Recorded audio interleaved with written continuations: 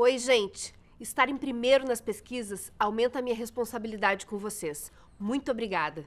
Tenho 30 anos de vida pública e as mãos limpas. Sou Luciana Genro.